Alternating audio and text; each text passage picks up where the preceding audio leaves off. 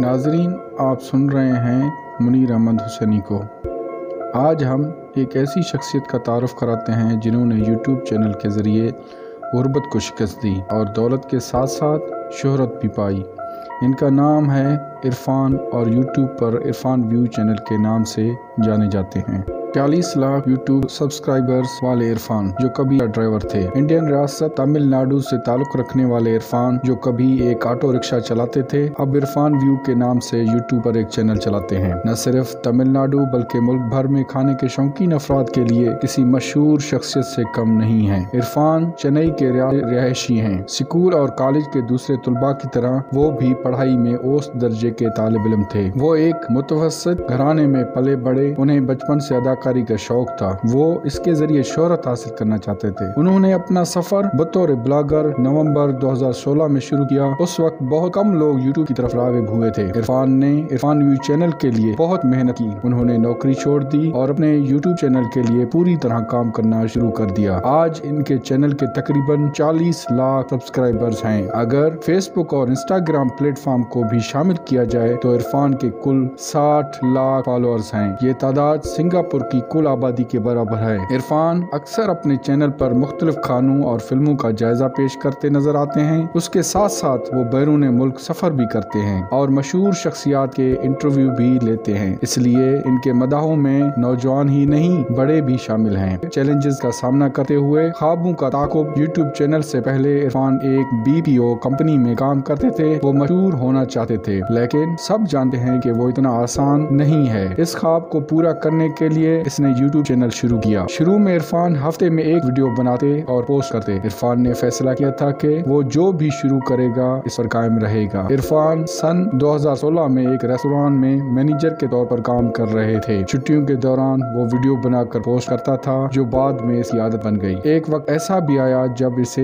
इस काम के लिए अपनी नौकरी छोड़नी पड़ी। उसे छोड़ दिया और यूट्यूब को मुकम्मल तौर पर चलाना शुरू कर दिया। जब इसने नौकरी छोड़ी तो इसके घर वालों ने भी इसकी मुखालफत की इस वक्त उसकी माली हालत ठीक नहीं थी। इसे किराया अदा करने में मुश्किल का सामना था। माली तंगी की वजह से घर में राशन खरीदने में दुश्वारी थी, लेकिन इसे यकीन था कि मेहनत सब कुछ ठीक किया जा सकता है। नौकरी छोड़ने के बाद इसे एहसास हुआ कि हफ़्ते में एक वीडियो बनाने से काम नहीं चलेगा। इसलिए इसने रोज़ाना वीडियोस बनाकर अपने चैनल पर पोस्ट करना शुरू कर दी और आहिस्ता आहिस्ता आज यहाँ तक पहुँच गया। इनके वालिद एक वैन ड्राइवर थे, जिनके पास ओमनी वैन और ऑटो रिक्शा था। वो बच्चों को स्कूल ले जाते और वापस लाते। अपने वालिद की तरह इसने भी तीन साल तक ऑटो रिक्शा ड्राइवर के तौर पर काम किया। वो सुबह और दोपहर दो बार बच्चों को स्कूल छोड़ता था। ये काम हर रोज करना पड़ता था।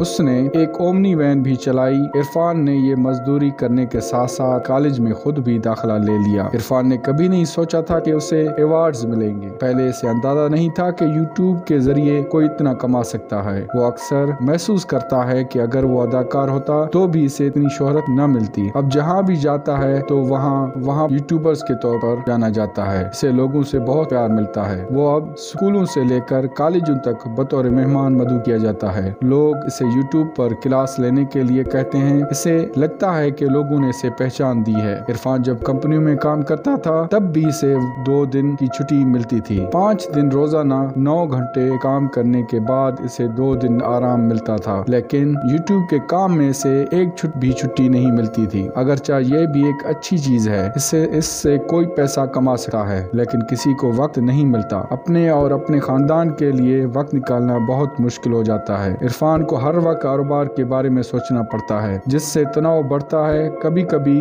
इसे बहुत गुस्सा आता है और कभी इसे दबाव की वजह से रोना लगता है। वो अक्सर अपने यूट्यूब चैनल पर खाने से मुतलिक वीडियोस बनाते हैं, जिसे लाखों लोग देखते हैं। इरफान को बाज ज़्यादा खाने से फ़ूड इन्फेक्शन हो जाता है। वो बाकायदा से अस्पताल जाता है। जब वो अस्पताल जाता है तो डॉक्टर फ़ौरन पता चल, फ़ौरन पता चल जाता है कि इसे क्या हुआ है। तहम इलाज के दौरान इसे दो दिन की छुट्टी करना होती है, जिससे वो लुत्फानंदोज भी हो जाता है। इरफान का ये तजर्बा बहुत खास है कि जिन लोगों को फ़िल्मों में देखते हैं, वो पास आते हैं और एक साथ इंटरव्यू करते हैं। पहले यूट्यूब पर फ़िल्मों के सिर्फ़ ट्रेलर और रिव्यू दस्तियाब होते थे, लेकिन अब ये तब्दीली आई है कि इरफान अपने चैनल पर फिल्मी सितारों का इंटरव्यू करते हैं तो लोग इसे बहुत पसंद करते हैं और इससे, इसमें मजीद काम करने की ख्वाहिश पैदा होती है। इरफान ने इसमें खुद को मनवा लिया है तो वो समझता है कि सितारों के इंटरव्यू करना दुरुस्त है। आजकल फ़िल्म इंडस्ट्री भी ऐसे यूट्यूबर्स पर नज़र रखे हुए है। इरफान ने पहला सियासी इंटरव्यू तमिलनाडु में सियासी जमायत, दरावेंदा, मोनितरा, कजागम डीएमके की रुकन असम्बली कनीमोजी करौंदी के साथ किया था। इसे प्रल सिटी के नाम से मशहूर थुदोकडी शहर में एक फ़ूड फेस्टिवल में मधु किया गया था। और वहाँ इरफान को इनका इंटरव्यू करने का मौका मिला।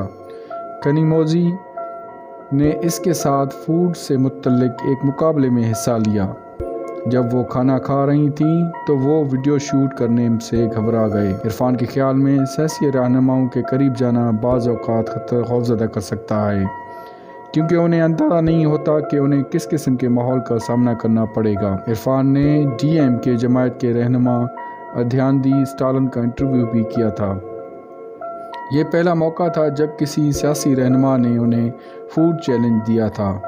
जिसमें उन्होंने भी इसमें हिस्सा लिया। इरफान ने 2000 से जायद वीडियोस पोस्ट की हैं। कभी कभी तनकीद होती है और तकलीफ़ भी होती है। कई बार बग़ैर तस्दीक के इसके बारे में ख़बरें शाया की जाती हैं। इसे कई बार धमकी आमेज़ कॉल्स मौसू होती हैं और बाज़ अवत इसे वीडियो हटाने के लिए कहा जाता है।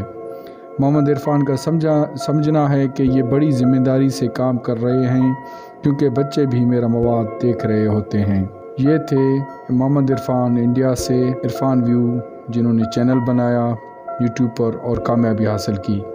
अगली मतबा एक नई स्टोरी के साथ आपके साथ शामिल होंगे। तब तक के लिए मुनीर अहमद हुसैनी को इजाज़त दीजिए। अल्लाह हाफ़